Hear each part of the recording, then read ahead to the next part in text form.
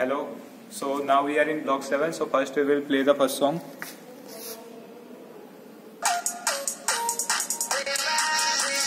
Now the filter version of this song will be wait.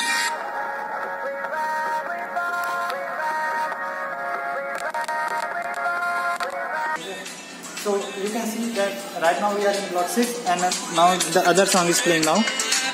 So if I shake the, the filter version of the song will be played. So this is filter version and now if I check again. So this is the original song. Thank you.